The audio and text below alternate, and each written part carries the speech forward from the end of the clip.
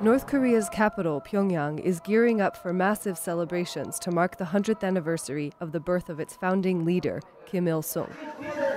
Official state media say the April 15th festivities will be unprecedented in scale, heralding North Korea's rise as a powerful and prosperous nation.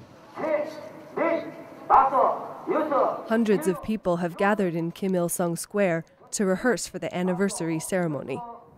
Even the Juche Tower, which has been an unfinished eyesore on Pyongyang's skyline for decades, has gotten a facelift. North Korea's official Communist Party newspaper, Rodong Sinmun, called this an unprecedented happy occasion. It also urged the nation to rally behind its young new leader, Kim Il sung's grandson, Kim Jong un.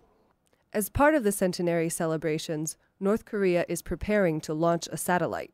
The United States and other nations have sharply criticized the launch. They say it's a disguised missile launch that violates United Nations resolutions. North Korea suffered devastating famines in the 1990s and still grapples with severe food shortages.